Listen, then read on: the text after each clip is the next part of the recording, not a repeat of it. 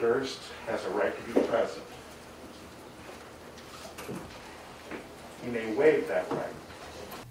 As to count one, the first degree murder of Susan Berman, with the special circumstance of intentional killing of a witness pursuant to 190.2A10 of the Penal Code, it's the judgment and sentence of this court, Mr. Durst, that you be imprisoned in the state prison for the term prescribed by law, that is, life in prison, without the possibility of parole.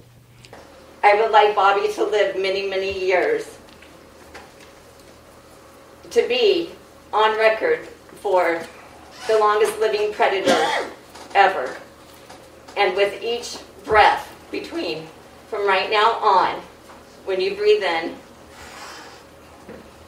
you will hear Susan.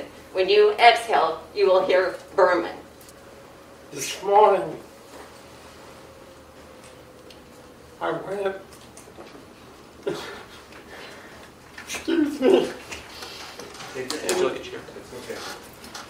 I visited her and told her she could rest easy. Uh, the justice has been done. You've suffered, and I know that the members of Susan Berman's family also spoke to that heartbreak.